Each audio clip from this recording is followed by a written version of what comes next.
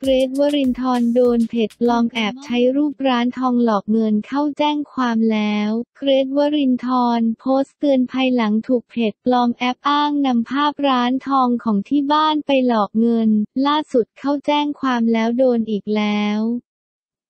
สำหรับพระเอกหนุ่มเกรทวรินทร์ปัญหาการ เพราะก่อนหน้านี้ก็เพิ่งเป็นข่าวไปว่า เพจร้านทองของที่บ้านโดนแอปอ้าง มารอบนี้โดนเอารูปในร้านทองของครอบครัวไปสร้างเพจปลอมเพื่อหลอกเอาเงินประชาชน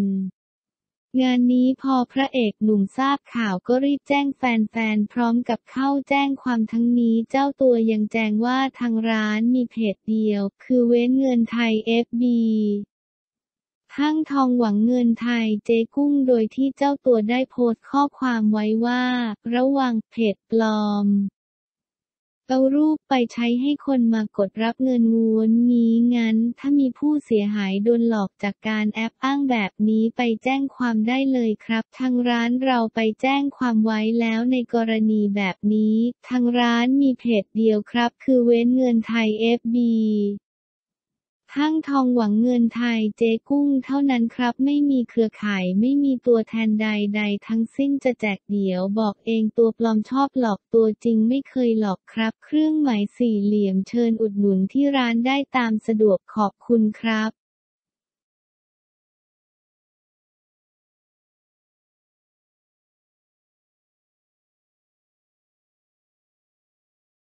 ประมวลภาพคู่สุดน่ารักกอดอิทธิพัฒน์ริชชี่อรเนศอจากคู่จิ้นสู่คู่จริงจากคู่จิ้นกลายเป็นคู่จริงแล้วกอดอิทธิพัฒน์เปิดตัวคบริชชี่อรเนศอแฟนคลับและเพื่อนๆในวงการแห่ร่วมแสดงความยินดีมากมาย เปิดตัวความสัมพันธ์ในฐานะคนรักอย่างเป็นทางการแล้ว หลังแฟนๆลุ้นให้เป็นคู่จริงอยู่นานเนื่องจากทั้งคู่เล่นละครเรื่อง ซ่อนเงารักด้วยกันล่าสุดทำเอาแฟนคลับฟินจิกหมอนไปตามๆกัน เมื่อเห็นพระเอกหนุ่มก๊อต อิทธิพัทธ์ฐานิตย์ โพสต์ภาพคู่นางเอกคู่จิ้นริชชี่อรเณศ ดีคาบาเลสพร้อมข้อความหวาน I finally found you รูปหัวใจสีส้ม พร้อมเขินจัง ทั้งนี้ช่วงแรกๆก๊อตก็เป็นเพื่อนที่ดีที่คอยช่วยเหลือริชชี่ ในการตอบคำถามสื่อและการเป็นที่ปรึกษาด้านการทำงานในวงการต่างๆ จนมีโมเมนต์หวานๆ ให้แฟนๆ ลุ้นหนักจนติดแท็กริชชี่ที่แปลว่าของก๊อตติดเทรนด์ทวิตเตอร์ติดต่อกันหลายครั้ง นอกจากนี้ ยังเคยถูกสื่อสัมภาษณ์ชงให้เป็นคู่จริง แต่ริชชี่ยังไม่คิดเรื่องนี้เนื่องจากที่ผ่านมาไม่เคยมีแฟน และเมื่อทั้งคู่ได้เปิดตัวขยับความสัมพันธ์กัน งานนี้ทำให้บรรดาแฟนคลับและเพื่อนๆ ในวงการบันเทิงต่างมาร่วมแสดงความยินดีกันเป็นจำนวนมาก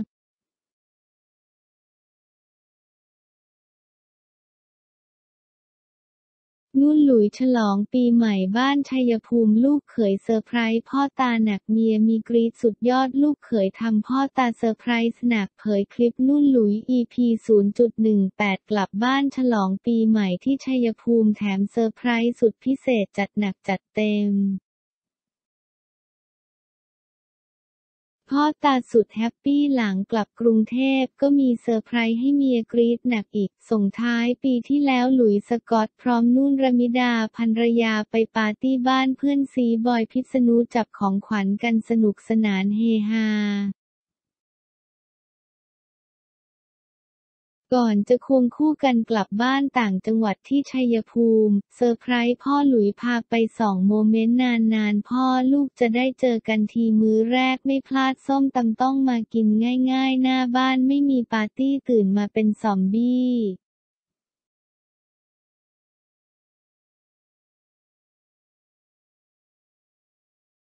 วันเกิดเรียบง่ายนุ่น ควง หลุย กลับชัยภูมิกินน้ำพริกฝีมือพ่อแม่ ลูกสาวอุตสาซื้อเคสโทรศัพท์ให้พ่อ แต่ซื้อเคสซัมซุงโน้ต 20 มาให้ขณะที่พ่อใช้โน้ต 5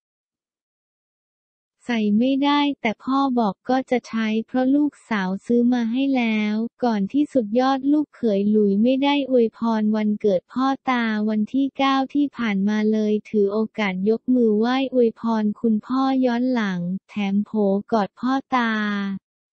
และยังมีของขวัญติดมือมาให้ด้วย พ่อเปิดของขวัญมาเซอร์ไพรส์หนักมาก เปิดกล่องเป็น Samsung Note 20 พ่อดีใจสุดๆ ลูกเขยก็แก้มปริบอกว่าดูเขาแฮปปี้ก็ชอบแหละเพราะเขาเพิ่งบอกอยากได้เครื่องใหม่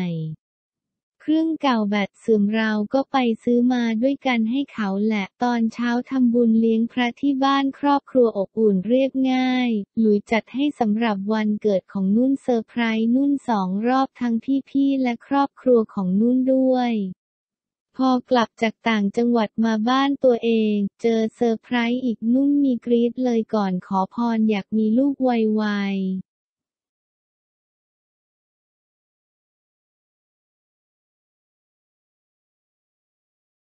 วงในมาเอง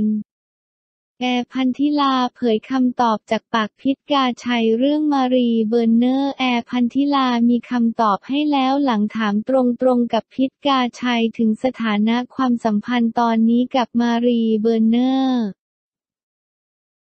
กำลังเป็นที่สนใจในโลกออนไลน์เป็นอย่างมาก หลังจากที่เพจเม้าท์มอยข่าวชื่อดังอย่าง เจ๊มอย 108 ได้โพสต์ข้อความที่ลูกเพจที่น่ารักส่งมาสอบถาม เปิดประเด็นชวนสงสัยเกี่ยวกับความสัมพันธ์ของสาว มารีเบิร์นเนอร์ และหนุ่มหล่อคนดังพิชญ์ กาไชยอดีตนักร้องวงซีควินท์ ซีควินท์ว่าตอนนี้เป็นอย่างไรกันแน่ เพราะสังเกตเห็นว่าช่วงนี้ลง story IG คล้ายกันบ่อยๆ ล่าสุดสาวสวยแอร์พันธิลาฟูกลิน ซึ่งเป็นเพื่อนสนิทสนมกับหนุ่มพิษกาชัยและอีกทั้งยังรู้จักและเคยร่วมงานกับมารีเบอร์เนอร์อีกด้วยได้เผยเกี่ยวกับประเด็นดังกล่าวผ่านรายการตกมันบันเทิงว่า ตัวเองสนิทกับพี่พิษไปคอนโดบ่อยและภาพมารีที่คอนโดก็เป็นคอนโดพี่พิษจริง แต่คนในวงการบันเทิงใครๆ ก็ไปคอนโดหนุ่มพิษเพราะเจ้าตัวชอบทำอาหาร จนพิษเคยบอกว่าคิดว่าทุกคนเห็นบ้านเขาเป็นโรงทานหรือไง อย่างป๋อมแปมพิมฐาใครๆ ก็เดินเข้ามาได้แอร์ก็ไปบ่อยไม่ได้ปกป้องเขา แต่เขาเป็นคนชอบทำอาหารให้คนอื่นกินอยู่แล้ว บ้านเขาเท่มากเหมือน artist ตัวจริงทำอาหารอยู่ก็ไปนั่งกดเปียโนนอกจากนี้สาวแอร์ยังเล่าต่ออีกว่า จริงๆ เป็นไปด้วยธรรมชาติพี่พิษกับมารีเขาอยู่กลุ่มเดียวกัน ด้วยความที่ต่างก็โสดกลุ่มนี้เขาสนิทกันมากจริงๆ เอาจริง ๆ เมื่อวันที่ 13 มกราคมเพิ่งคุยกับพี่พิษเองว่าเป็นไงบ้างเฮ้ยเปิดตัวเหรอดีใจด้วยพี่พิษก็บอกมันเพิ่งเกิดขึ้น เพิ่งเจอกันเองไม่นานอาจจะไม่ใช่คำว่าแฟนอาจจะยังไม่คบกันแต่ศึกษาดูใจกันอยู่ งานนี้บุกโก พื่อนพิธีกรร่วมรายการรีบถามต่อทันทีว่า คือรู้สึกดีๆ ต่อกันแต่ยังไม่ได้เป็นแฟนแต่ห่วงใยพิเศษกว่าเพื่อนปกติหรือเปล่า แอร์จึงตอบว่าพี่พิษไม่ได้พูดแต่แอร์ก็คิดว่าน่าจะเป็นประมาณนั้น สมมุติเป็นแอร์กำลังจะเริ่มศึกษาดูใจใครสักคน ค่อยๆเริ่มต้น ยังไม่อยากพูดไม่อยากกระโตกกระตากเดี๋ยวใช่ไม่ใช่แล้วจะหน้าหงายกัน อยากให้ค่อยๆเริ่มกันไปดีกว่าเพราะสุดท้ายก็เป็นแก๊งเพื่อนกันอยู่ดี แอร์ก็รู้จักมารีถ้ารักใครคือเต็มที่ที่สุดแอร์ยังบอกกับพี่พิษเลย มารีน่ารักมากเลย มารีเต็มที่มากเลย พี่พิษก็บอกแอร์ใจเย็นก่อน